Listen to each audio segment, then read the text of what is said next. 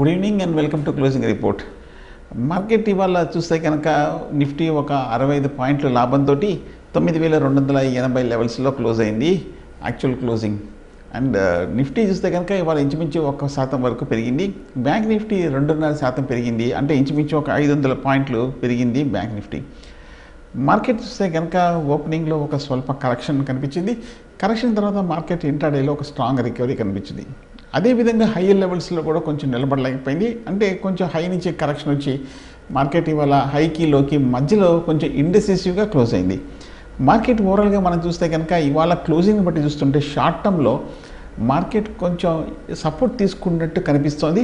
Market ఇవాళ తొమ్మిది వేల రెండు వందల యాభై పైన క్లోజ్ అవ్వాలి అని ఇండికేషన్ చెప్తుంది. కానీ అదేవిధంగా క్లోజ్ అయింది. సో ఇవాళ ఇండికేషన్ కొంచెం పాజిటివ్గా వచ్చింది. కానీ రేపు కన్ఫర్మేషన్ కూడా కొంచెం రావాల్సి వస్తుంది. మార్కెట్ ఒకవేళ రేపు వెళ్ళిన కనుక ఏమాత్రం కొంచెం నిలబడిందంటే కనుక లాంగ్ పొజిషన్స్ని తీసుకోవచ్చు. ఎంబడి స్టాప్ లాస్ అనేది పెట్టుకోవచ్చు. సో మార్కెట్ ఇవాళ కొంచెం స్లైట్గా పాజిటివ్ ఇండికేషన్స్ కనిపిస్తుంది. ఆ పాజిటివ్ ఇండికేషన్ రేపు కూడా సస్టైన్ అవుతుందా లేదా? రేపు కనుక కొంచెం స్ట్రాంగ్గా క్లోజ్ అవుతే మార్కెట్లో ఒక అంటే అట్లీస్ట్ మిడ్ సెషన్కి తర్వాత అంటే వన్ థర్టీకైనా మార్కెట్ కొంచెం స్ట్రాంగ్గా డే హై దగ్గర కనుక ట్రేడ్ అవుతే లాంగ్ పొజిషన్ తీసుకొని ఎంబడే స్టాప్ లాస్ పెట్టుకొని హోల్డ్ చేయొచ్చు. ఇవాళ మార్కెట్ నెక్స్ట్ ఫిఫ్టీ ఇవాళ ఒక ఒకటి పాయింట్ ఒక శాతం పెరిగింది. అదేవిధంగా మిడ్ క్యాప్లో వన్ పాయింట్ సిక్స్ పర్సెంట్ పెరిగింది. స్మాల్ క్యాప్లో ఇంచుమించు పాయింట్స్ ఎయిట్ వరకు పెరిగింది.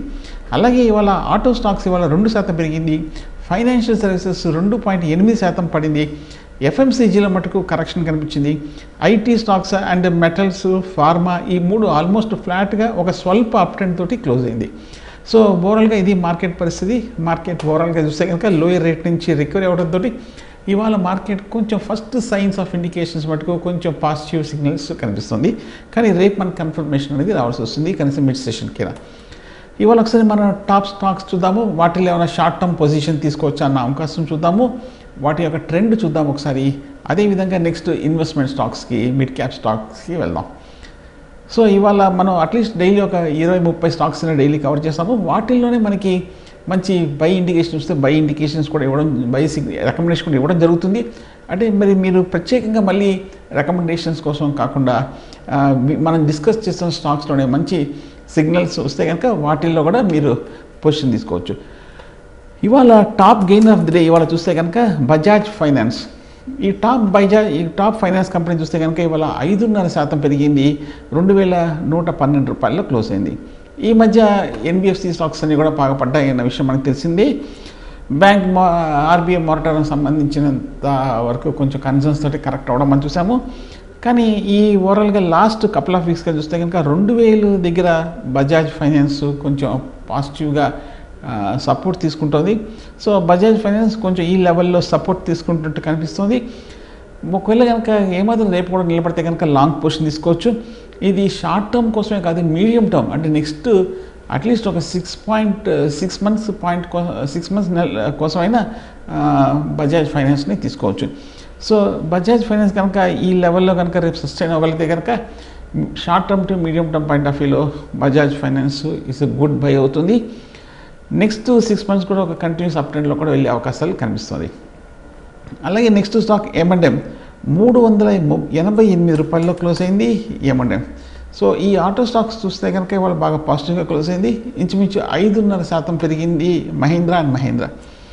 మహీంద్ర మహీంద్ర గత కొన్ని వారాలుగా చూస్తే కనుక ఈ మూడు వందల యాభై లెవెల్స్లో కన్సాలిడేషన్ అవుతూ వచ్చింది. కన్సాలిడేషన్ అనంతరం మహీంద్ర మహీంద్ర ఈ వారం బాగా స్థిరంగా నిలబడుతుంది. లాస్ట్ వీక్ కూడా బాగా స్ట్రాంగ్గా క్లోజ్ అయింది. సో టెక్నికల్గా చూస్తుంటే మహీంద్ర మహీంద్ర బాగా పాజిటివ్ సిగ్నల్స్ కనిపిస్తుంది. సో షార్ట్ టర్మ్లో మహీంద్ర మహీంద్రాని తీసుకోవచ్చు. అండ్ ఓవరాల్గా చూస్తే కనుక వాల్యుయేషన్స్ పాయింట్ ఆఫ్ వ్యూలో కూడా చూస్తే అట్రాక్టివ్గా కనిపిస్తుంది మహీంద్ర మహీంద్ర. మహీంద్ర మహీంద్ర ఒకసారి రిజల్ట్స్ కూడా ఓవరాల్గా చూస్తే కనుక గత కొన్ని క్వార్టర్లో కొంచెం డౌన్ అయినప్పటికీ కోర్స్ రిజల్ట్స్ గురించి అసలు పెద్ద డిస్కస్ చేయలేదు. ఎందుకంటే డీసెంట్ రిజల్ట్స్ ఇస్తున్న company Mahindra Mahindra. So Mahindra Mahindra short term పాజిటివ్గా కనిపిస్తుంది. అలాగే మనం జనరల్గా ఆటోమొబైల్ స్టాక్ బాగా పెరిగింది కాబట్టి ఒకసారి మిగతా ఆటోమొబైల్ స్టాక్స్ కూడా చూద్దాం. ఎందుకంటే ఫ్రెండ్లీ ఒక ఆటోమొబైల్ స్టాక్ కనుక బుల్లిష్గా ఉందంటే కొన్నిసార్లు ఆ ఇన్ సెక్టర్కి కూడా ఇండికేషన్స్ ఇచ్చే అవకాశాలు కనిపిస్తుంది. మారుతి మటుకు కొంచెం వీక్గా క్లోజ్ అయింది. ఐదు వేల స్థాయి కింద. ఒకవేళ రేపు ఎల్లుండి కనుక ఐదు వేల పైన కనుక బౌన్స్ బ్యాక్ అవుతే మారుతి సుజుకిని కూడా బై చేయొచ్చు. Next top gain of the day ఇవాళ చూస్తే కనుక ఆయిల్ ఎక్స్ప్లోరేషన్ కంపెనీ అయిన గెయిల్ గెయిల్ ఇవాళ ఇంచుమించు ఒక మూడు ఐ మీన్ నాలుగు శాతం వరకు పెరిగింది GAIL Gas Authority of India ఈ మధ్యకాలంలో చూస్తే కనుక ఒక స్వల్ప అప్ ట్రెండ్కి గురైంది. లాస్ట్ వీక్ టెక్నికల్గా ఒక అప్సైడ్ బ్రేక్అవుట్ కనిపించింది వీక్లీ చార్ట్లో ఈ వారం చూస్తే కనుక బ్రేక్అవుట్ తర్వాత కొంచెం హై లెవెల్ సస్టైన్ అవుతుంది. సో కాబట్టి గెయిల్ షార్ట్ టర్మ్లో కూడా పాజిటివ్గా ఉండే అవకాశాలు కనిపిస్తుంది. సో నైంటీ నైంటీ టూ రీజన్లో తీసుకుంటే కనుక ఎయిటీ ఫైవ్ కింద గెయిల్ని స్టాప్ లాస్ పెట్టుకోవచ్చు. అదేవిధంగా అనదర్ ఆయిల్ ఎక్స్ప్లోరేషన్ కంపెనీ అయిన రిలయన్ ఓఎన్జీసీ కూడా చూస్తే కనుక ఈ లాస్ట్ రెండు వారాలుగా చూస్తే అరవై ఐదు రూపాయల నుంచి ఎనభై రూపాయల వరకు వెళ్ళి షార్ట్ టర్మ్ చూస్తుంటే కనుక స్ట్రాంగ్గా క్లోజ్ అవుతుంది కాబట్టి ఓఎన్జీసీని కూడా షార్ట్ టర్మ్ పాయింట్ ఆఫ్ వ్యూలో కన్సిడర్ చేయొచ్చు. ఒకవేళ కనుక మార్కెట్ ఏమాత్రం కనుక రికవర్ అయ్యి సస్టైన్ అయితే కనుక ఈ రెండు ఇంచుమించు ఫిఫ్టీన్ ట్వంటీ పర్సెంట్ రిటర్న్ వచ్చే అవకాశాలు కనిపిస్తోంది. అదేవిధంగా రిలయన్స్ ఇండస్ట్రీస్ కూడా చూస్తే కనుక పదిహేను వందల దగ్గర గత రెండు వారాలుగా బాగా రియాక్షన్ తీసుకోవడం మనం చూసాము. పదిహేను వందల దగ్గర కొంచెం కన్సాలిడేషన్ అవడం చూసాం. బట్ ఓవరాల్గా రిలయన్స్ ఇండస్ట్రీస్ కూడా స్ట్రాంగ్గా కనిపిస్తుంది. క్రూడ్ కూడా బాగా పెరిగింది. సో ఇక్కడ నుంచి క్రూడ్ కూడా పెరిగే అవకాశాలు ఉన్నట్టు కనిపిస్తోంది. సో ఈ ఆయిల్ ఎక్స్ప్లోరేషన్ కంపెనీస్ కూడా బాగానే కనిపిస్తుంది. అలాగే హెచ్డిఎఫ్సి బ్యాంక్ కూడా ఒక నెక్స్ట్ టాప్ గెయినర్గా ఉన్న స్టాక్. ఈ స్టాక్ లాస్ట్ కపుల్ ఆఫ్ వీక్స్గా చూస్తే కనుక తొమ్మిది వందల పైగా కన్సాలిడేషన్ అయింది. టెక్నికల్గా చూస్తే కనుక కొంచెం ఈ గత మూడు వారాలుగా ఈ లెవెల్లో కొంచెం నిలకడగా కనిపిస్తుంది హెచ్డిఎఫ్సి బ్యాంక్. అలాగే నెక్స్ట్ స్టాక్ చూస్తే ఇవాళ ఐసీసీ బ్యాంక్. నిన్న భారీగా పడిన ఐసీసీ బ్యాంక్ ఇవాళ మూడు పాయింట్ ఆరు శాతం వరకు బౌన్స్ బ్యాక్ అయింది ఐసీసీ బ్యాంక్. ఐసీసీ బ్యాంక్ ఓవరాల్గా ఈ సెక్టర్లో ఫ్రంట్ లైన్ స్టాక్ అనే విషయం మనకి తెలిసింది. గత కొన్ని వారాలుగా three thirty three forty levels దగ్గర ప్రస్తుతం సపోర్ట్ తీసుకొని కన్సాలిడేషన్ అవుతుంది ఐసీసీ బ్యాంక్ సో ఇవి ఇప్పటివరకు మనం చూసిన టాప్ ఫైవ్ గెయినర్స్ ఒకసారి తర్వాత టాప్ ఫైవ్ లూజర్స్ కూడా చూద్దాం. Bharti Infratel five point five percent పడింది. ఇవాళ స్టాక్ చూస్తే కనుక నూట ఇరవై ఒక్క రూపాయల్లో క్లోజ్ అయింది. ఓవరాల్గా వీక్గా ఉన్న స్టాక్ ప్రస్తుతం అవాయిడ్ చేయొచ్చు. ఐటీసీ ఇవాళ న్యూస్ రావడంతో ఐటీసీ స్టాక్లో కూడా ఒక క్రాక్ రావడం అని చూసాము. ఫైవ్ పర్సెంట్ పైగా పడింది. నూట అరవై ఐదు రూపాయల్లో క్లోజ్ అయింది ఐ ఐటీసీ ఐటీసీ ఓవరాల్గా వీక్గా కనిపిస్తుంది. ఒకవేళ వన్ ఫిఫ్టీ లెవెల్స్కి వస్తే కనుక గుడ్ లాంగ్ టర్మ్ బై అవుతుంది. కోల్ ఇండియా ఇవాళ ఇంచుమించు మూడు శాతం పడింది. నూట ముప్పై నాలుగు రూపాయల్లో క్లోజ్ అయింది. టెక్నికల్గా చూస్తే కనుక కోల్ ఇండియా కూడా బాగా వీక్గా ఉన్న స్టాక్. సో ఈ స్టాక్ని కూడా అవాయిడ్ చేయొచ్చు. ఐఓసి రెండు పాయింట్ నాలుగు శాతం పడింది. డెబ్బై ఆరు రూపాయల ఎనభై పైసల్లో క్లోజ్ అయింది. ఓవరాల్గా వీక్గా ఉన్న స్టాక్. ఇవాళ ఆయిల్ మార్కెటింగ్ కంపెనీస్ అన్నీ కూడా పడ్డాయి. ఇవాళ ప్రధానమైన న్యూస్ చూస్తే కనుక excise duty oil companies petrol మీద పట్టడం మనం చూసాము. అలాగే క్రూడ్ కూడా బాగా పెరగడం అనేది చూసాము. హిందుస్థాన్ లీవర్ ఇవాళ one point nine percent react అయింది. మొన్న రిజల్ట్ వచ్చినప్పటి నుంచి హిందుస్థాన్ లీవర్లో కరెక్షన్ రావడం మనం చూస్తున్నాము ఇప్పుడు ఒకసారి టాప్ గెయినర్స్ ఒకసారి చూద్దాం మనం. చిన్న కొంచెం మిడ్ క్యాప్ స్మాల్ క్యాప్ స్టాక్స్లో ఇవాళ ఎన్ఐఐటి టెక్నాలజీస్. ఎన్ఐఐటి టెక్నాలజీస్ ఈ ఐటీ స్టాక్ ఒక టాప్ గెయినర్గా ఉంది ఇవాళ. ఇవాళ ఈ స్టాక్ చూస్తే కనుక ఇంచుమించు ఇరవై శాతం పెరిగింది ఎన్ఐటి టెక్నాలజీస్. ఈ స్టాక్ చూస్తే కనుక గత కొన్ని వారాలుగా పన్నెండు వందల రూపాయల దగ్గర కన్సాలిడేషన్ అవుతూ వస్తుంది.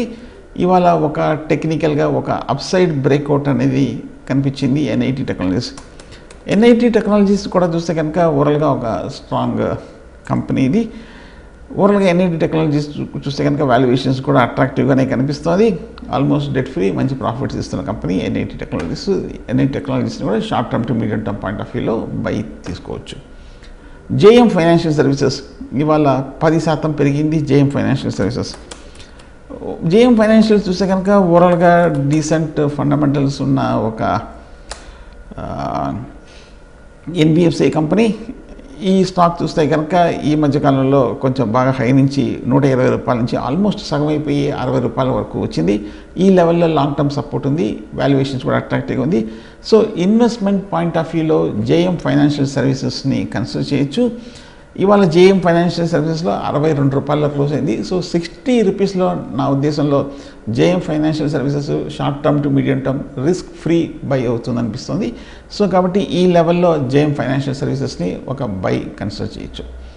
Next top gain of the day. ఇవాళ చూస్తే కనుక పెర్సిస్టెన్స్ సిస్టమ్స్. ఈ స్టాక్ చూస్తే కనుక ఇంచుమించు ఒక ఆరు శాతం వరకు పెరిగింది. అలాగే ఎనిమిదిన్నర శాతం పెరిగింది ఇవాళ ఐదు వందల ఆరు రూపాయల్లో క్లోజ్ అయింది పెర్సిస్టెంట్ అండ్ ఓవరాల్గా చూస్తే కనుక ఈ స్టాక్ ఈ మధ్యకాలంలో ఒక ఏడు వందల యాభై రూపాయల నుంచి నాలుగు వందల యాభై రూపాయల వరకు పడింది. ప్రస్తు ప్రస్తుతానికి పెర్సిస్టెంట్ ఈ లెవెల్లో చాలా స్ట్రాంగ్ సపోర్ట్ కనిపిస్తుంది.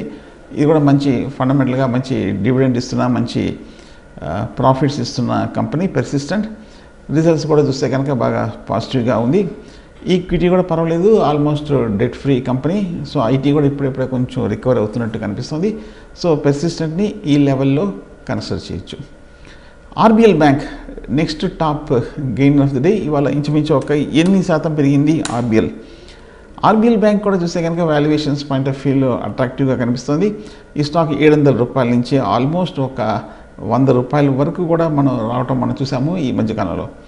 RBL Bank one of the attractive valuations ఉన్న కంపెనీ స్ట్రాంగ్ గ్రోత్ ఉన్న company last couple of years so ఓవరాల్గా పాజిటివ్ కామెంట్స్ ఎక్కువ రావడం కూడా మనం చూస్తున్నాము. సో ఆర్బిఎల్ బ్యాంక్ ఈ లెవెల్లో షార్ట్ టర్మ్ పాజిటివ్గా ఉండే అవకాశాలు కనిపిస్తుంది ఆ తర్వాత ఎంఎండ్ఎం ఫైనాన్షియల్ సర్వీసెస్ ఇది ఒక ఏడున్నర శాతం వరకు పెరిగింది నూట డెబ్బై రెండు రూపాయల్లో క్లోజ్ అయింది. Another decent quality financial services company M and M Cholamandalam Investment ఇది కూడా అనదర్ క్వాలిటీ ప్రొఫెషనల్ కంపెనీ ఏడు శాతం వరకు పెరిగింది నూట యాభై ఒక్క రూపాయలు అరవై పైసల్లో క్లోజ్ అయింది.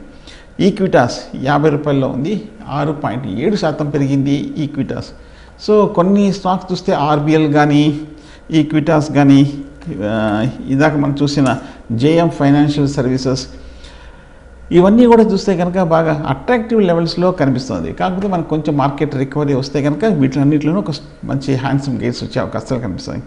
ఈక్విటాస్ హోల్డింగ్ చూస్తే కనుక ఇంచుమించు ఒక నూట యాభై రూపాయల నుంచి నలభై రూపాయల వరకు వచ్చింది. అట్రాక్టివ్ వాల్యుయేషన్స్లో ఉంది ఈక్విటాస్ హోల్డింగ్స్ సో ఈ స్టాక్ని కూడా ఈ లెవెల్లో కన్సిడర్ చేయొచ్చు. ఓవరాల్ రియాలిటీ ఇవాళ ఆరున్నర శాతం పెరిగింది. ఈ రియల్ ఎస్టేట్ స్టాక్స్లో one of the fine decent quality stock Oberoi Realty JB Chemicals another good quality stock ఇవాళ ఆరున్నర శాతం పెరిగింది. శ్రీరామ్ ట్రాన్స్పోర్ట్ ఫైనాన్స్ ఆరున్నర శాతం పెరిగింది. Bandhan Bank Cyient IT company ఇది ఒక ఆరు శాతం పెరిగింది. TVS Motor Company Bajaj Finance Deepak Fertilisers ICICI Prudential Life Nocil Mahindra CIE Auto Reliance Capital Raymond Balrampur Chini Sadbhav Engineering Infibeam Avenues Jain Irrigation Container Corporation Concor Aegis Logistics Voltas ACC Tube Investment Tata Chemicals. ఇవన్నీ కూడా యావరేజ్గా ఒక five to six percent వరకు పెరిగాయి. So మార్కెట్లో ఇవాళ చాలా stocks rebound అవటం మనం చూసాము.